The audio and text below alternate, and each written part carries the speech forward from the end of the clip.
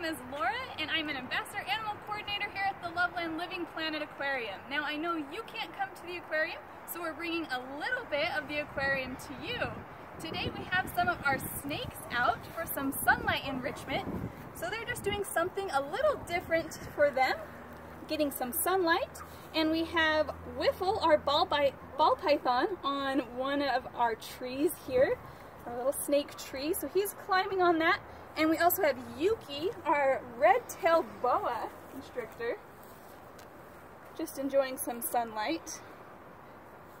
Now Yuki is an albino red-tailed boa, so in the wild they're not going to look like this. She's going to look more like with brown, um, and they do get that name because sometimes their tail is a little bit more red. Um, now, she's lucky she lives here at the aquarium because if she looked like this in South America where uh, red-tailed boas are from, uh, she might not survive because she's not able to camouflage. But Wiffle here has this normal coloration that ball pythons do that's really good for camouflage. You might picture him blending in with the ground in Africa where he's from.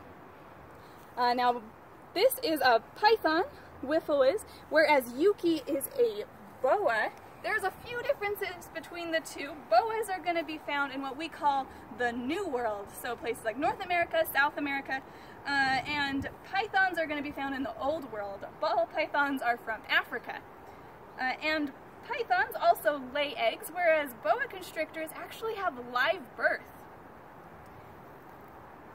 And um, these snakes are outside right now. If you're out and about, you might find some snakes too, but they're definitely not gonna look like these.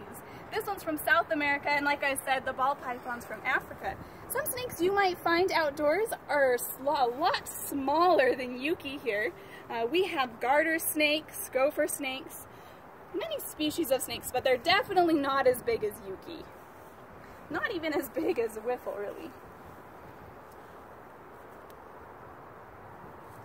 Now this is a form of enrichment for both of the, these snakes. Um, we like to give our animals lots of different types of enrichment. It's just something new for them to do.